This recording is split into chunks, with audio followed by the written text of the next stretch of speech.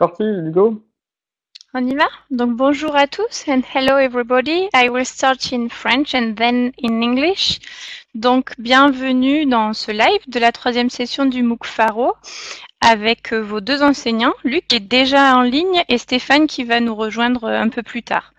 Mon nom est Aurélie, je suis accompagnée de Laurence et nous sommes toutes les deux ingénieurs pédagogiques à Inria Learning Lab. Et notre rôle ce soir, ça va être de euh, faciliter le déroulement de ce live. Donc avant de passer en anglais et de donner la parole à Luc, je voulais juste vous redire de ne pas hésiter à poser toutes vos questions via le chat intégré à cet outil de vidéoconférence. Donc soit en cliquant sur le lien au centre de votre avatar, soit en cliquant sur la bulle conversation dans le bandeau en haut à gauche. Donc voilà, je pense que nous allons maintenant switcher en anglais pour que le plus grand nombre puisse suivre ce live. Euh, si jamais il y en a qui ont besoin qu'on fasse les traductions en direct, manifestez-vous sur le chat, sinon on va essayer de, de, de faire en anglais. So now I will switch in English. Welcome to this live of the third session of MOOC Faro, which are two instructors, Luc, who is already online, and Stefan, who will join us a little later. My name is Aurélie, and with Laurence, we are both instructional designer at uh, Inria Learning Lab. Our role tonight will be to facilitate live proceedings. Before giving the floor to Luc, I just wanted to tell you not to hesitate to ask questions via the chat integrated into this video conferencing tool, either by clicking on the link in the middle of your avatar, either by clicking on the conversation bubble in the top right hand corner. So I think I have finished. Luc, welcome, and thanks for being here tonight with us. I will let you introduce yourself and start with live, live and maybe answer the question you ask in the discussion forum.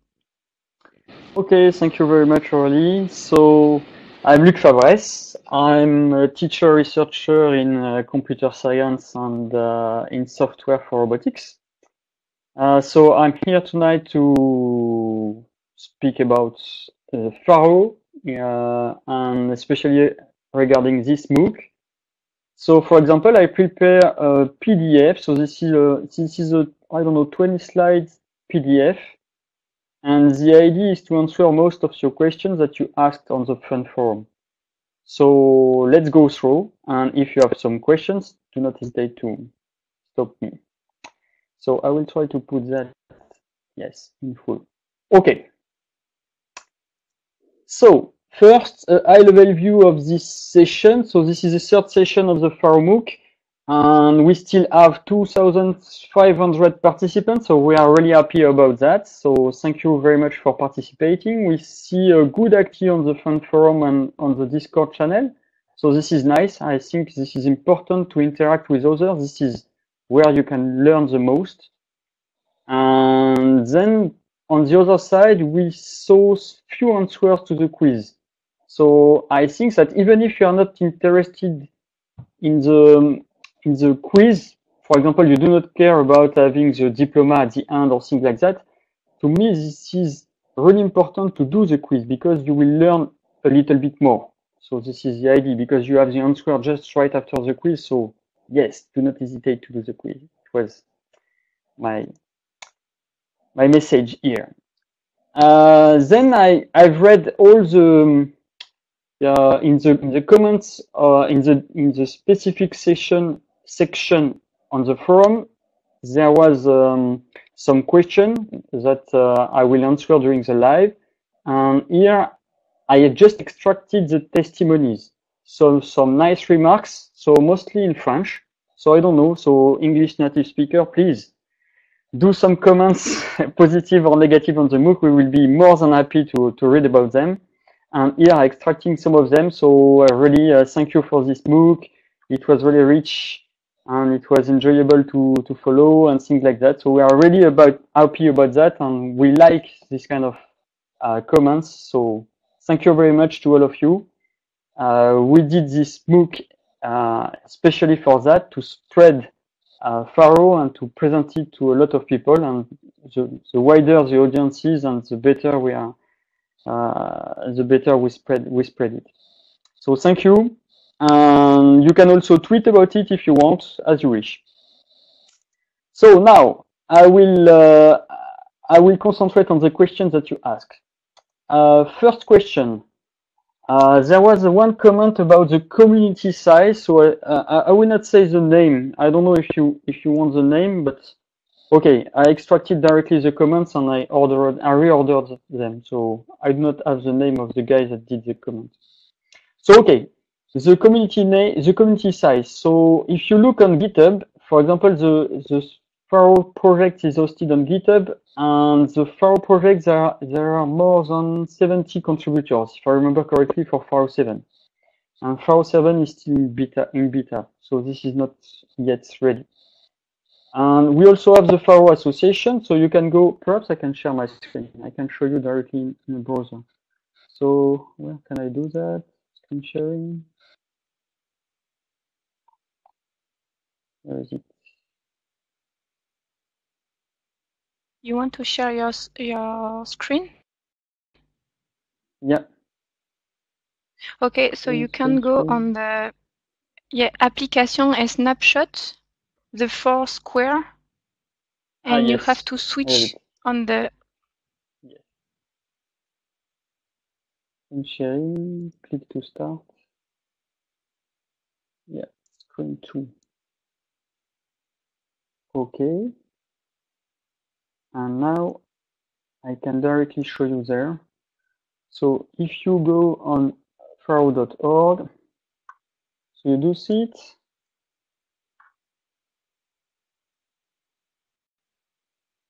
Yeah, okay. So here you have multiple things. So on the community side, you have the Discord, you have the Discord channel, of course, in which you can you can directly talk with a lot of people of the community. And then you also have the mailing lists, of course, Twitter, but you also have some companies. So a lot uh, of the, are the excuse me, look, your screen share is not working. Ah, it's not working. No. Yeah. Yes, it's okay. Thank you. It's okay? Yeah, it's right. It's not. Okay, I will just shrink a little bit that, and I will continue that.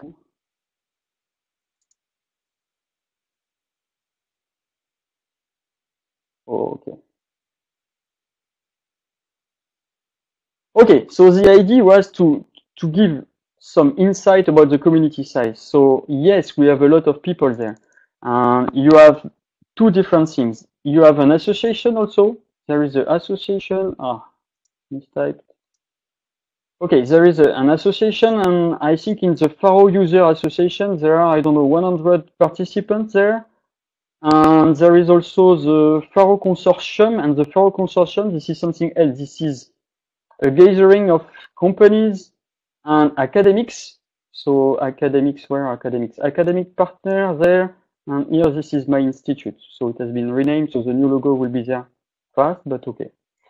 Uh, and then you have a lot of companies and academics that are using Pharo. So it's not only one people.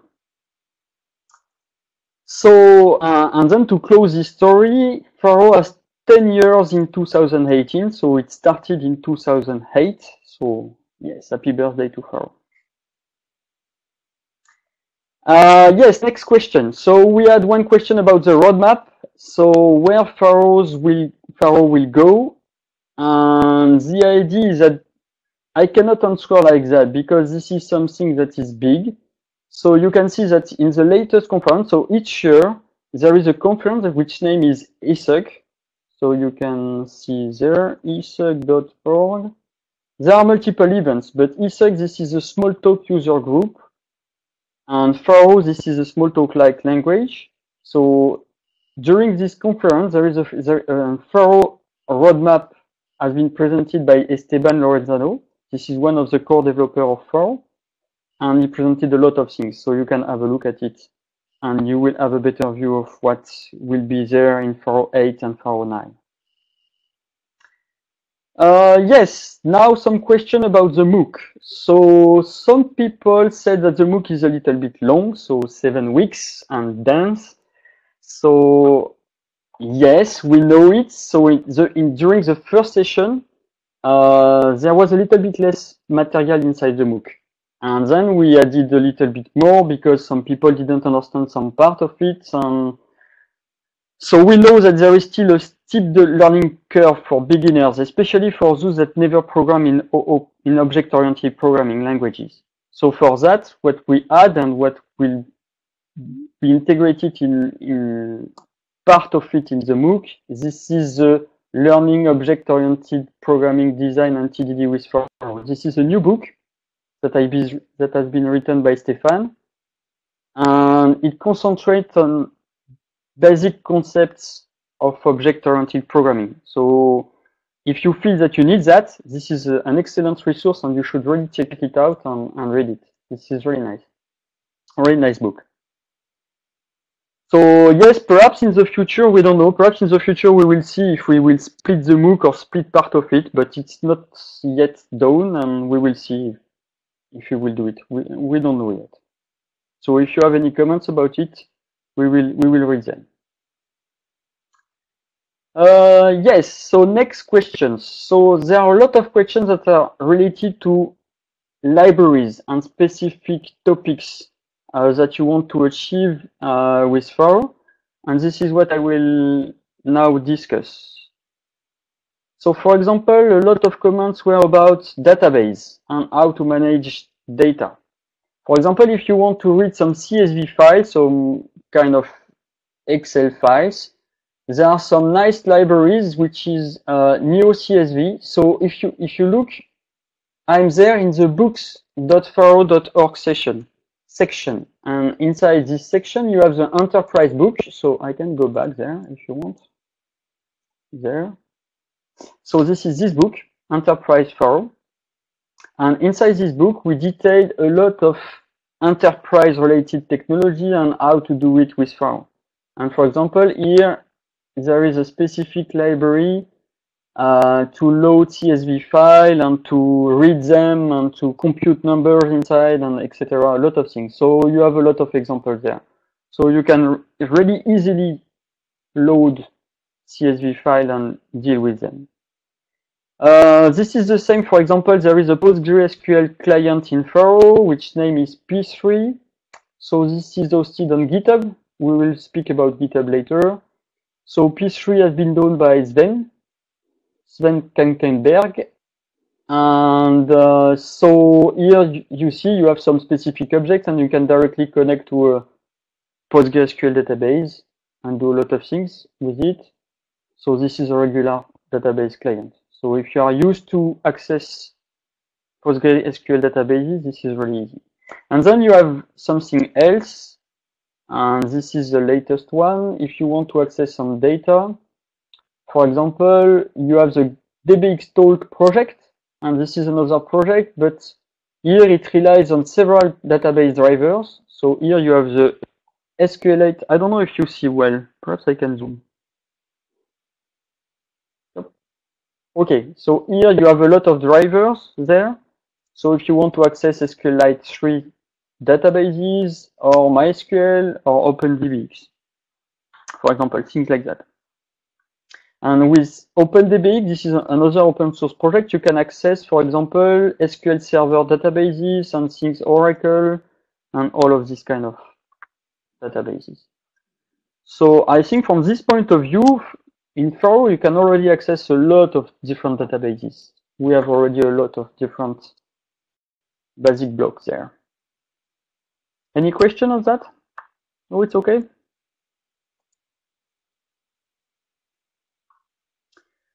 Okay, next topic. Uh, I had a lot of questions about uh, GUI framework.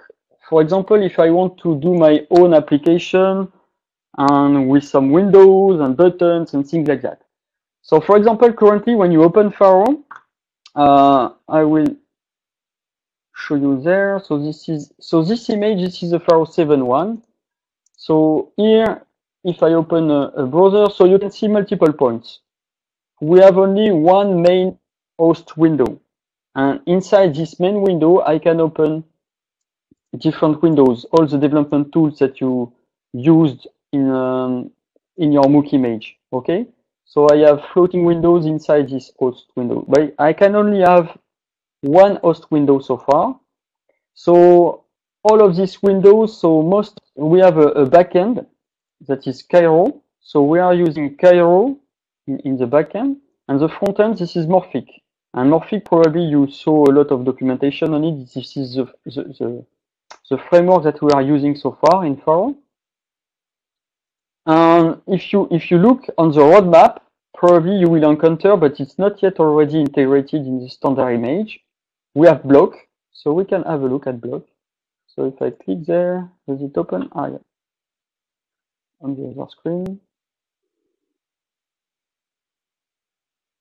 Okay. So Bloc, this is a new framework for for building.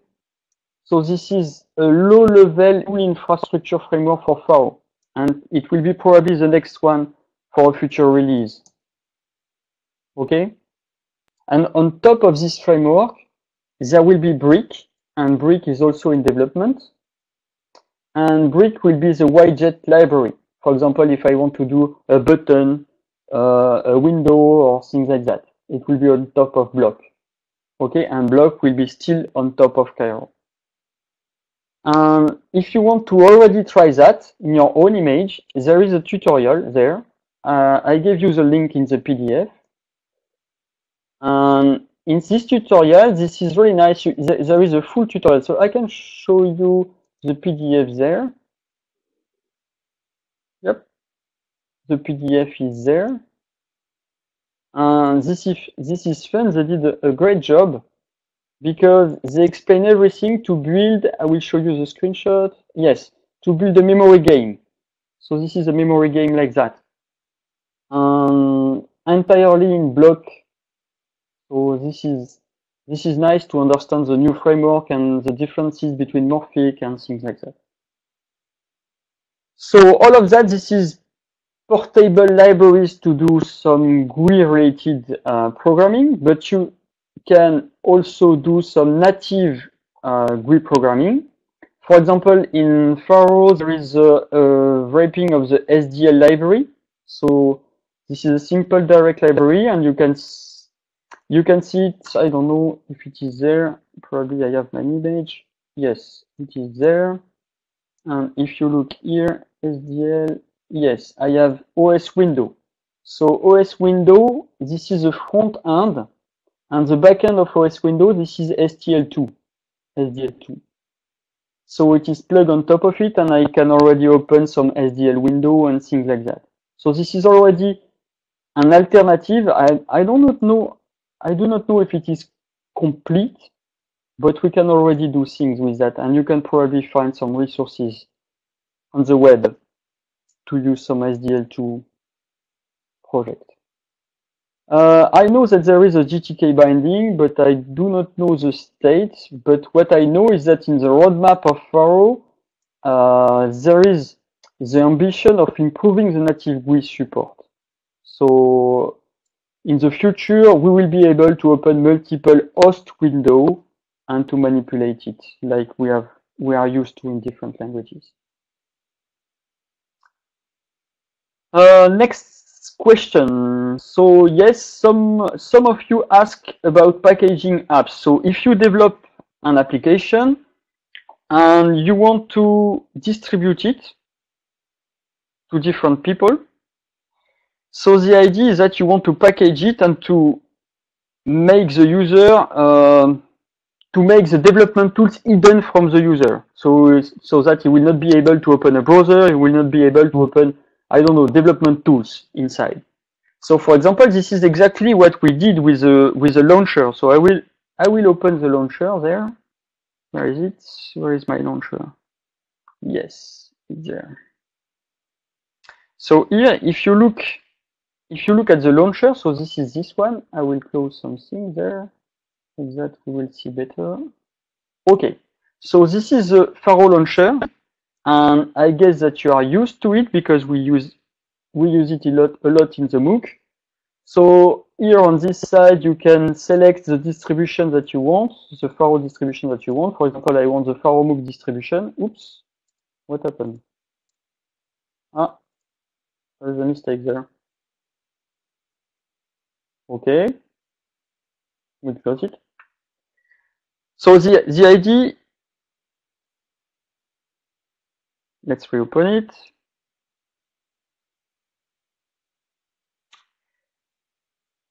Okay.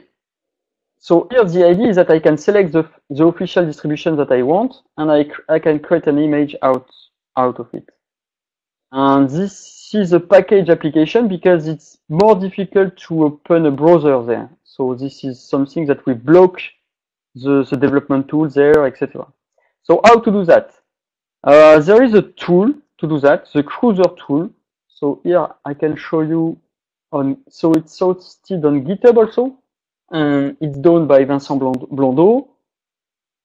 And there is a documentation how to use it, so you can load the code and then you can prepare the image of your application to prevent the user to open the development tools. So this is basically a lot of things that this framework do for you.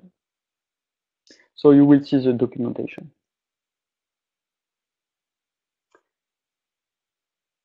Okay.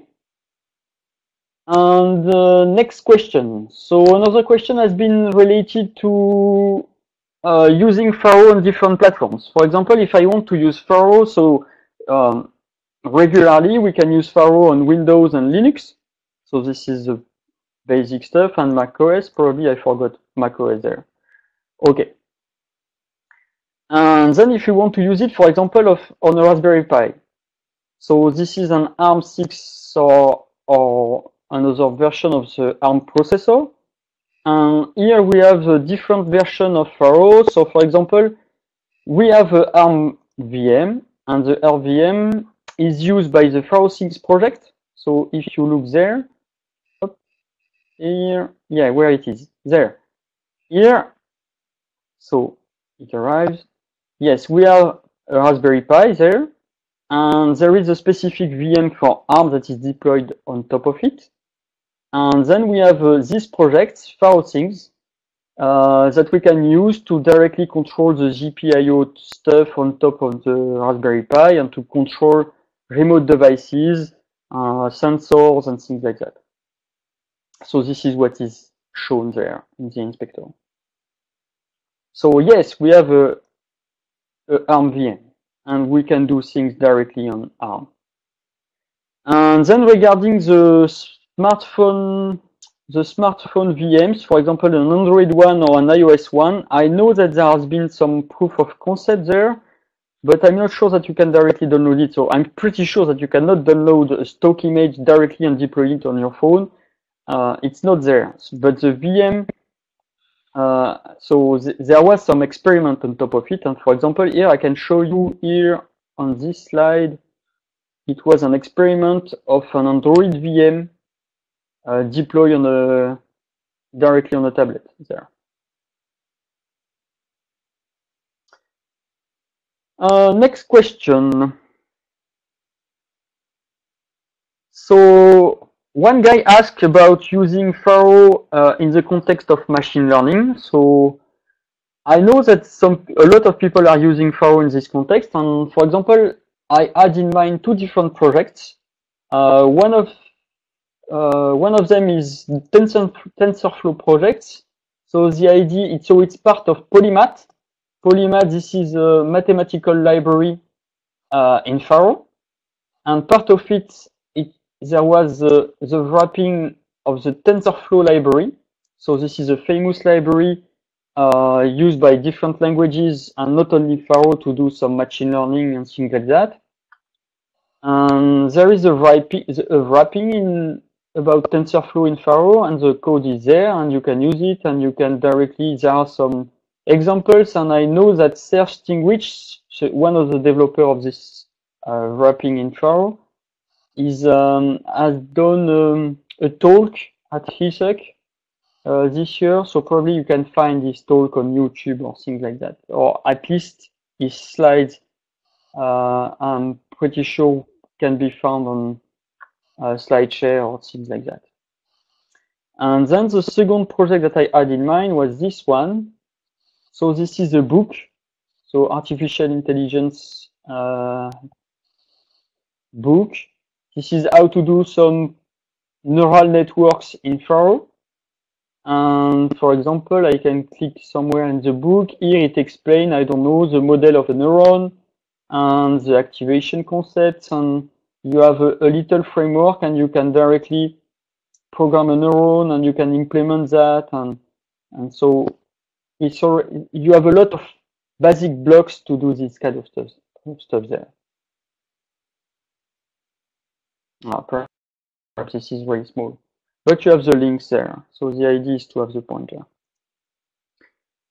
Any question?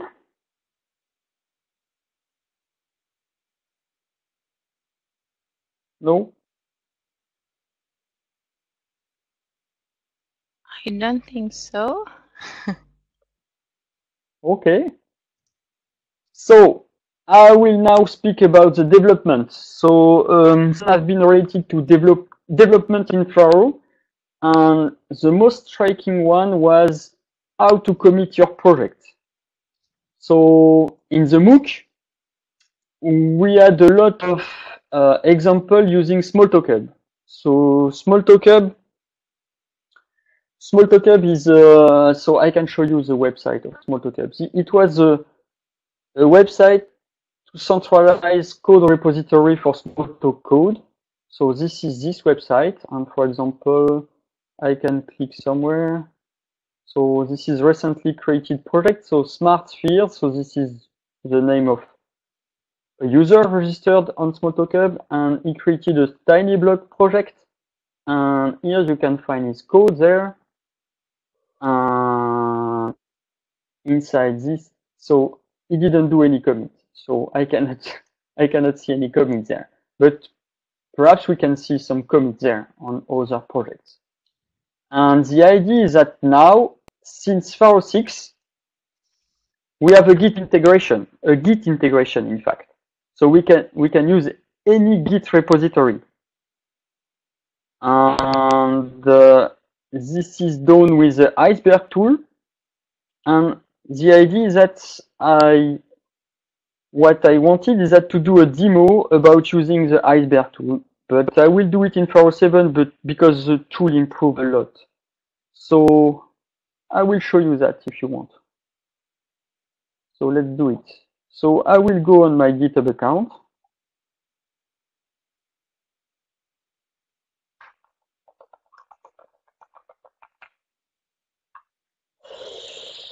Where is it? Um, okay. I will create a repository there.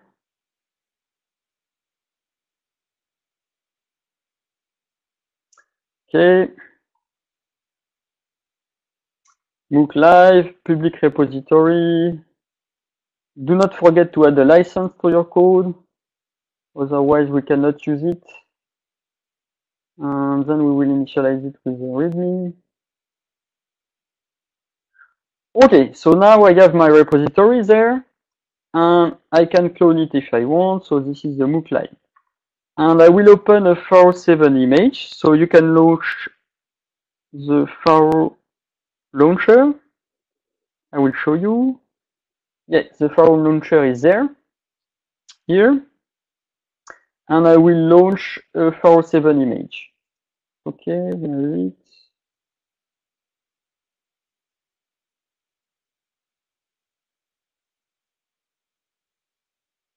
Okay.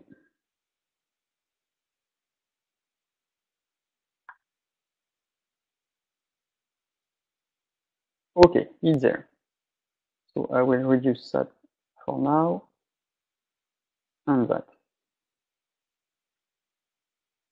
Okay, so inside my my Pharo image, so this is a Pharo 7. So I know that we didn't use that one in the MOOC, but I just wanted to exemplify to, to show you an example about using a new tool that is there in Pharo 7. So this is the iceberg tool. So this is this tool and this is to manage Git repositories. Uh, so what I will do is that I will add a new repository there. And this is a, a GitHub repository. Can I, perhaps I can zoom there.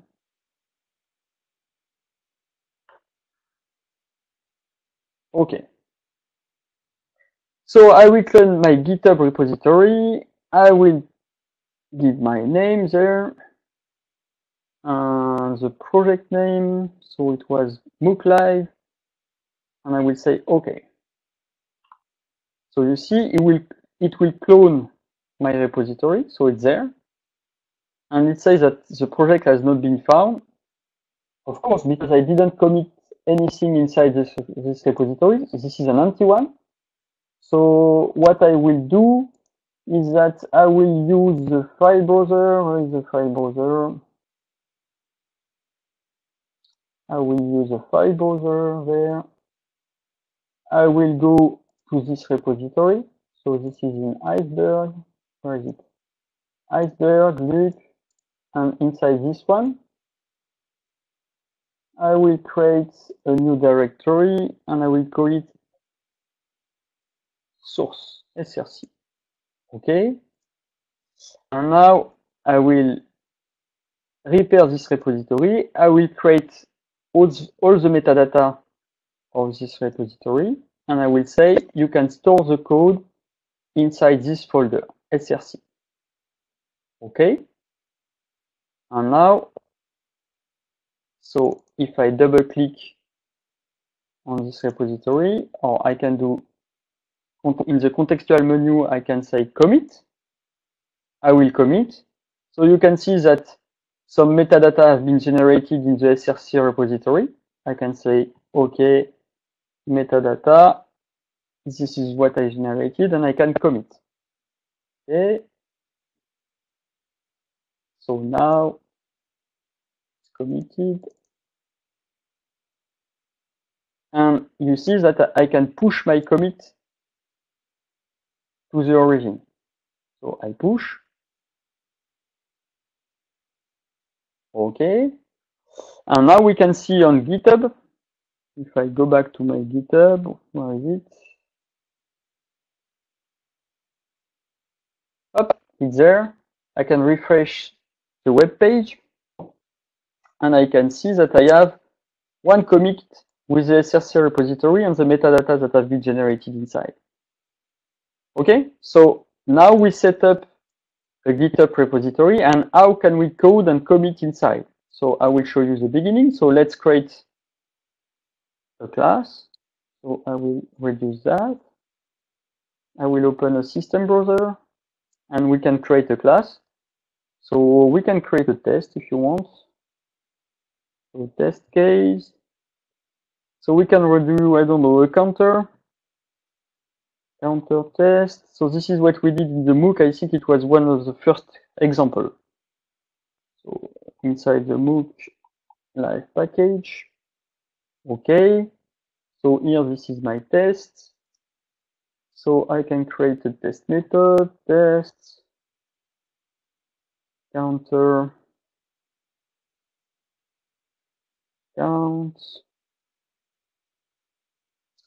Okay.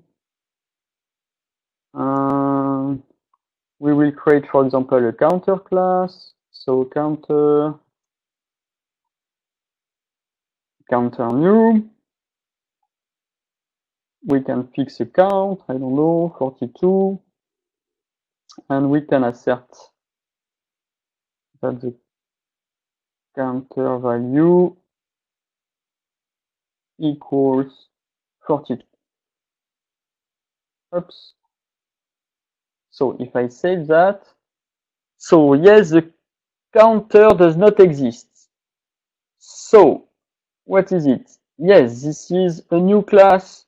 So you see, this is an uppercase counter. So I can say, okay, this is a new class. So yes, it will be a subclass of object. Yes, it will be in the MOOC Live category. And then I will add an instance variable, which is which name is count. Okay. So now this is a counter does not exist. Unknown variable. Oh ah, yes, this is a lowercase counter. So we will say that it is a temporary variable. Okay. So now my code is correct and it compiled correctly. So I can execute the test. There, oh, it does not work. So I will debug it. So I'm there in the debugger. And inside the debugger, I will see what happens. So yes, the count method is the count message is not known by the counter. So I can create it. So I will say create. So I will create a new method inside the counter class. So I will store it in the accessing protocol. And how do I choose the protocol? So in fact, protocols are mostly there for documentation. This is to help people understand what is the meaning or what is the intent of a method. I store it in the accessing protocol and I said, okay, this is an accessor to my count instance variable. And I can select proceed and I have another problem there.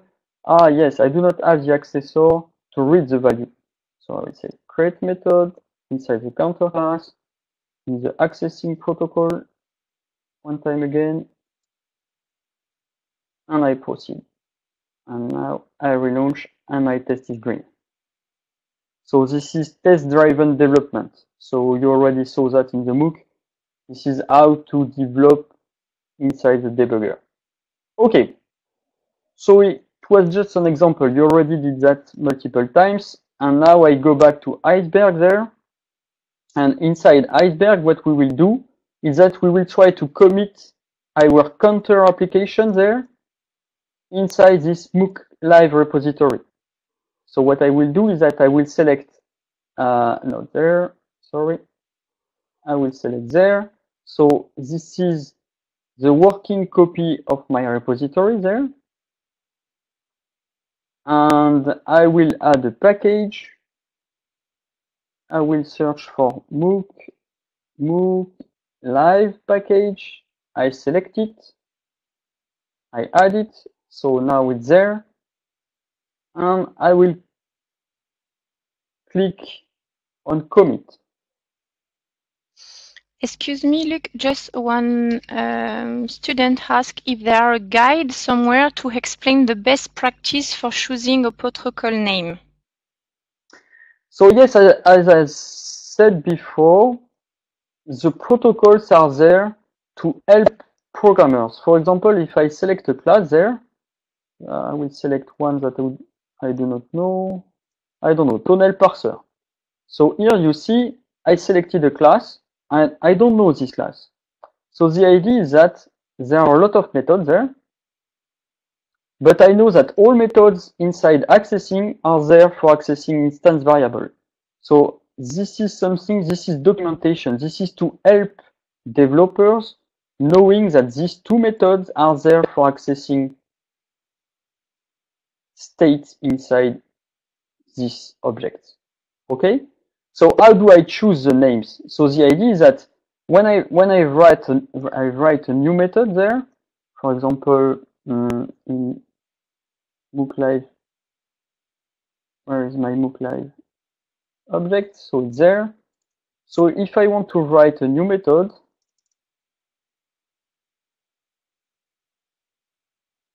I don't know, increment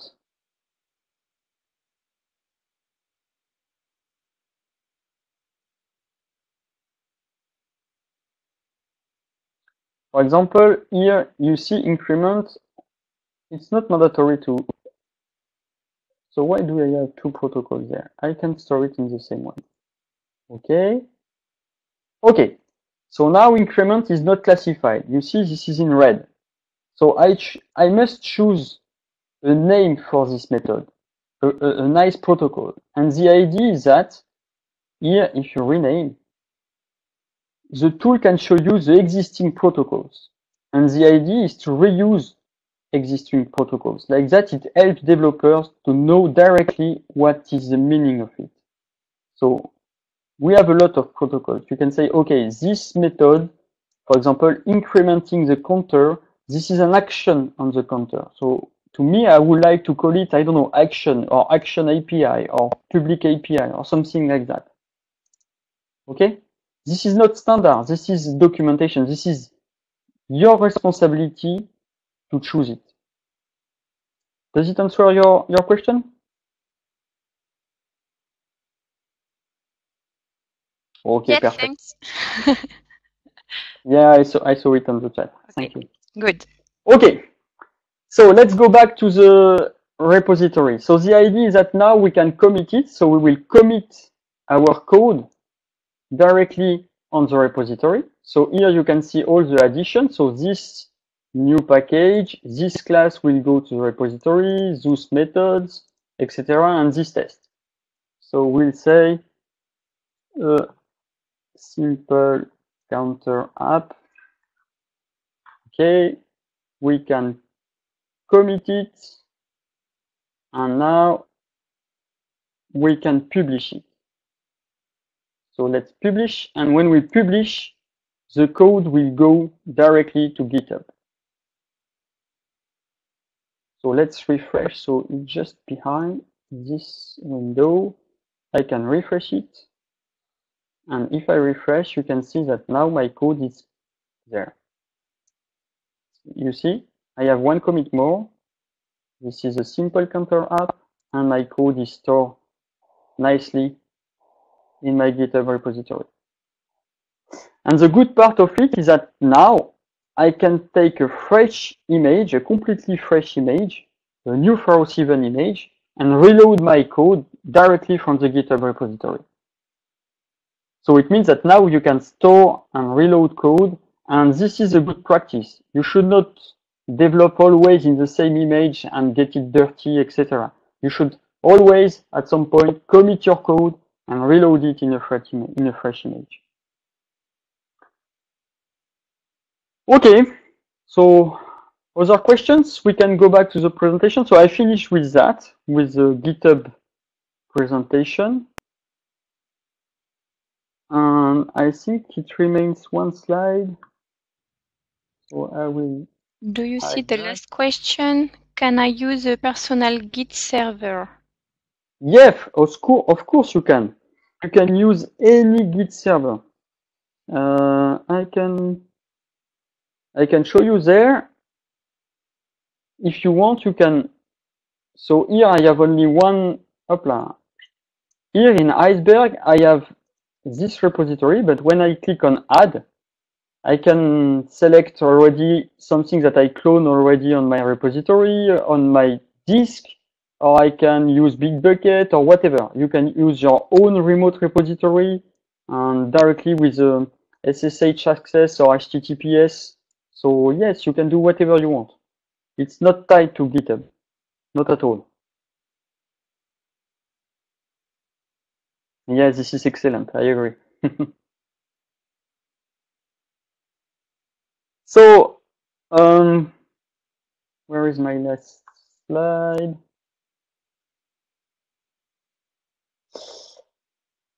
Yes, so I think this is the end. I answer most of your question. Uh, perhaps I left one or two questions that I will directly answer on the on, on the forums. So if you have more questions, I will be more than happy to, to answer it now. Otherwise, I would thank you very much. And you can, of course, tweet and make some noise about Pharo. I will be more than happy. I think Wolof, I he ha what? You want to know Alors, about Roloff, uh, yes, we talk about the anti-if. Isn't it bad to use if true? Uh, it depends. Uh, most of the time, so you, you see, you have a, a really nice example about that in the, so I will show you. You have a really nice example about if, about not using if inside the Boolean implementation. If you see at the, the Boolean implementation there, example,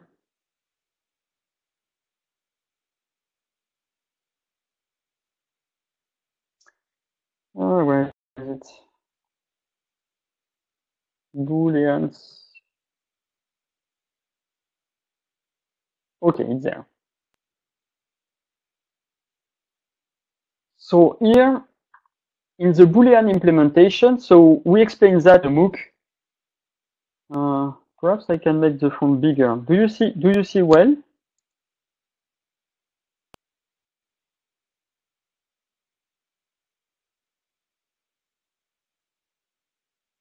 No answer. Okay. I guess yes. okay. Okay. So the idea is that in the Boolean implementation, we do not use if true or if false. Okay? The idea is that given, so I will show you the if true, if false implementation. Here, this is a subclass respons responsibility. So, okay. So it means that when you write there, I will, I will show you an example of code. So imagine I have a boolean there. I can say, okay, and then b if true, I will execute one block, and if false, I will execute another block. And this is exactly the same idea about the anti-if campaign. So the idea is that we will never test if b is a boolean true or the boolean false. You can see that we did it by subclassing the boolean class with two different classes. We have the false class and the true class. And it happens that true, so here this is a lowercase, this is an instance of the true class. And false will be an instance of the false class. So it means that just by sending this message to this object, it will be either the implementation, the method that is in the true class, or the method in the false class that will be executed. So it means that we never tested if B is true or false. Okay? So it depends on which object will receive the message. And this, uh, this is exactly what we want to achieve in most of in most cases. So you don't want to test. You want, by design, to have a superclass and some subclasses and to avoid as much as possible the if true and if false in your code. Like that, this is extensible. It means that you can always add objects. You understand my point? For example, if I want to, to model, I don't know, expressions or values or numbers or things like that, it means that you can always add a new subclass and then given the message that you will send, it will work. Is it clear? So yes, using if true, if false, usually this is not a, a good practice. Okay, so here I also better can use subclass. So where where are you speaking? Roloff, what is your question about?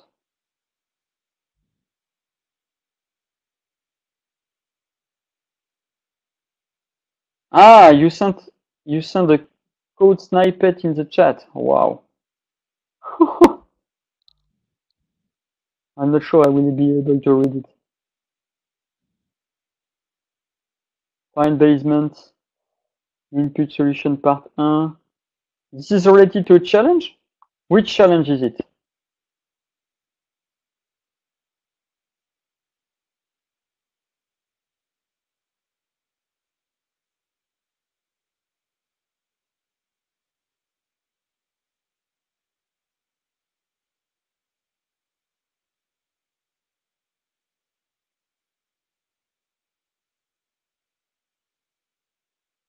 Ah, Advent of Code 2015, day one. Wow.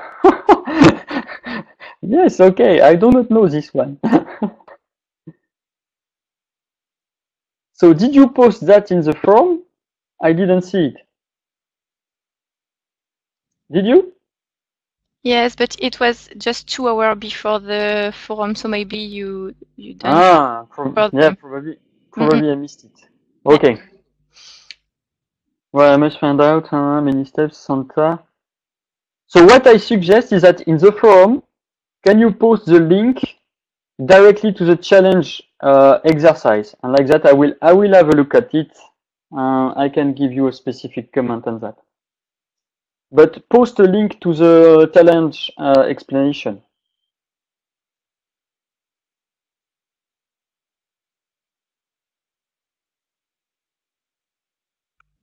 Okay, so have you got any more question?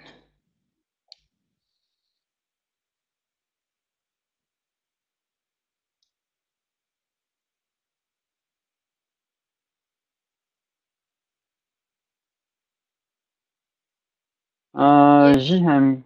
Alors, will you will you make another Pharo MOOC about other domains? AI, IoT, 3D with cases of usage? Uh, probably not, uh, at least not in the short term, because uh, you might not know, but doing a MOOC, this is really, really time consuming. Really. So this is not planned yet. So I, I, I told in, in the explanation at some point that probably we'll split the current MOOC at some point, but it's not decided. It, we didn't decide yet, so we will see. Uh, Philippe Rouchon, I'm not sure to understand with Cruiser. Is it possible to create a standalone executable file? No, no, it will not be a standalone executable file. It will be a it will be um, a directory, and inside this directory there will be a, a launch script. Okay, if you download directly the the Pharo one-click flavor, you will be able to you will be able to see what what will be the result. But inside inside this directory, there will be the VM, of course, there will be the image, of course, etc. But you can hide a lot of things with the starter script. Um, I don't know. I think so far on Windows it is a .bat script or something like that. I do not have Windows, so I don't know. And on Mac, this is much smooth, smoother because you have a, a .app application. So this is very transparent for the user. Does it answer to your question? Okay. Yeah, yeah, of course. But we cannot generate executable. And uh, what else? Uh,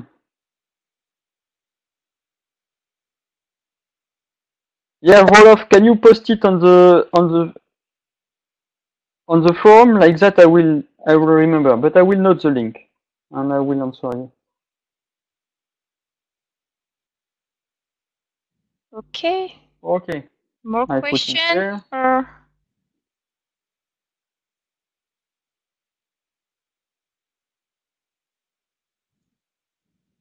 maybe it's time. It's 7:30. Maybe we can say thanks and goodbye. Thank you, Luc, and thank you to all of those you log in. Uh, Yeah. Thank you, everybody. So have a good evening and see you soon in the MOOC. Bye-bye. Bye bye.